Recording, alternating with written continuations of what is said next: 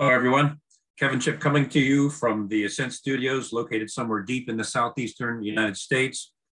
Apparently of interest uh, to this current administration, uh, we had a, a, a stealth uh, fighter, stealth bomber fly over. We're in way out in the middle of nowhere, the studio is, and you can't see us uh, via Google Earth, which I've mentioned several times.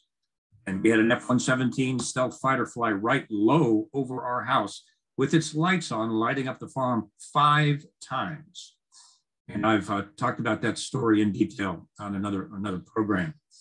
Um, as many of you know, uh, I consider it my calling to expose uh, government corruption and specifically uh, CIA corruption.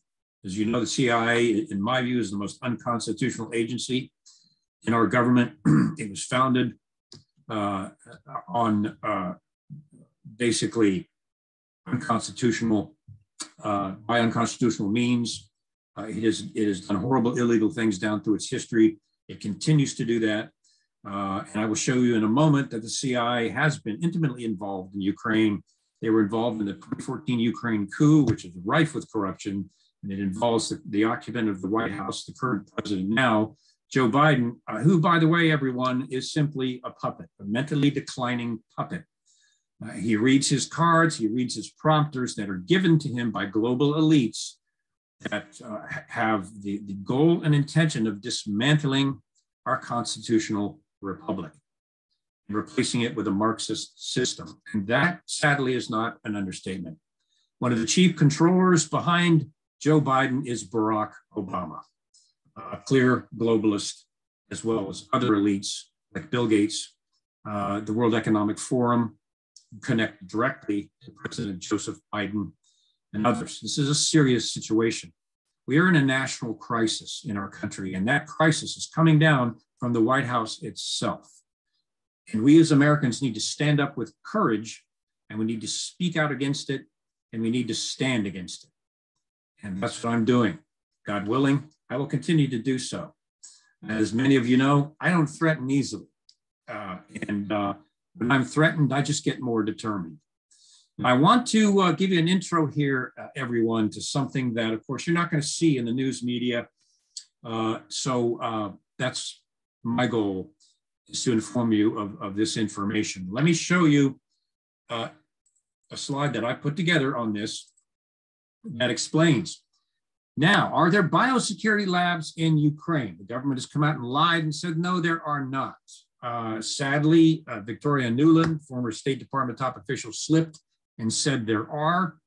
Uh, and indeed, uh, upon research, I have learned that there is no question there are biosecurity labs in Ukraine, and they're involved in activity that most Americans would decry. Uh, and let me give you an example here. The company in Ukraine that's operating, storing pathogens, is called Metabiota. Metabiota is operating in Ukraine, and guess who is helping to fund Metabiota? You guessed it, In-Q-Tel, the CIA's covert arm that gets into companies, penetrates them, and starts feeding them with CIA information and money in Metabiota in Ukraine. Burisma, remember Burisma, Hunter Biden's company where he made up to $80,000 a month for doing nothing.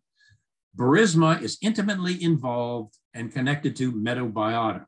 As a matter of fact, Seneca Partners, Hunter Biden's company, donated $500,000 to Metabiota in Ukraine for research on pathogens.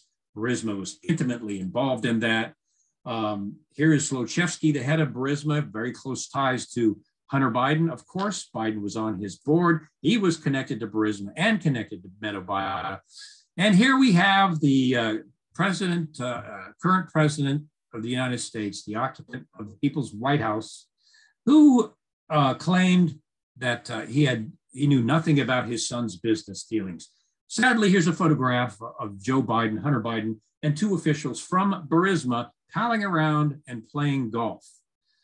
Uh, so there's no question about the fact that there are biosecurity labs in Ukraine. The CIA is involved, Metabiota is involved, and they are actually storing and working on pathogens in Ukraine.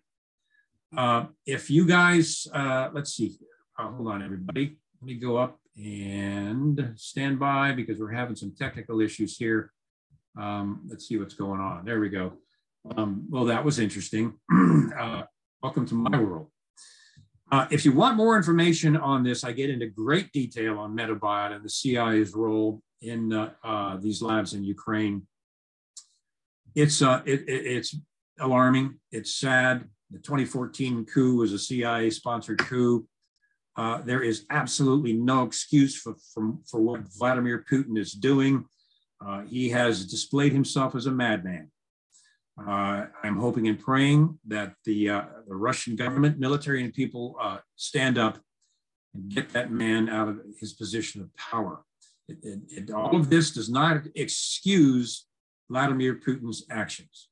But we as Americans need to understand and know all the facts involved in this so we can make proper decisions as we hold our government accountable and demand uh, democracy and demand that we uh, adhere and stay with the Constitution.